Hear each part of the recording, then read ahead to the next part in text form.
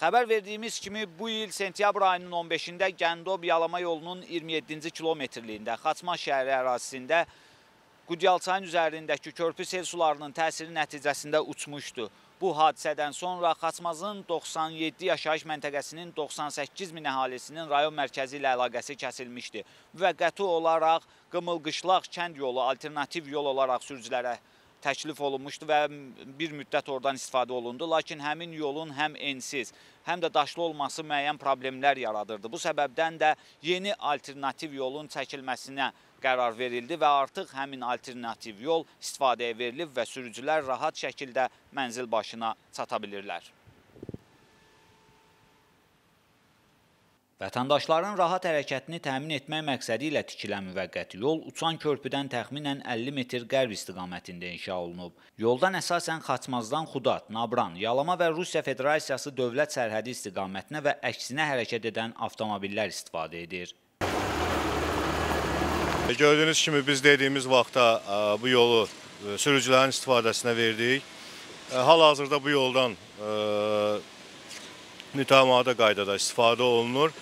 E, Sadəcə olaraq yük maşınlarının bu yola daxil olması bir balaca ə, bizim üçün də narahatçılıq yaradıb, narahatçılıq yaradıb daha doğrusu.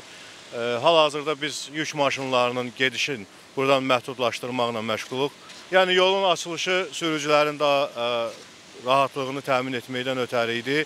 Yəni bir daha qeyd edirəm ki, rayon rəhbərliyinin tövsiyəsi oldu ki, bu yol açılsın. Biz bu yolu açdıq və gördüyünüz kimi sürücülər artıq 300 metr yolu qət etməklə çayın e, digər istiqamətinə keçə bilirlər.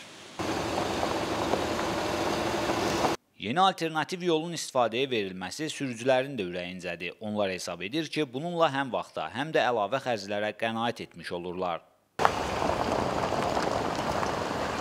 Əvvəllər necə deyim, e, o baş baş bir 10 kilometr, onun üçün bir 10 kilometr daş yol gedib gəlirdi. O 500 metri keçdim, yenə asfaltdasan. Çox gözəl.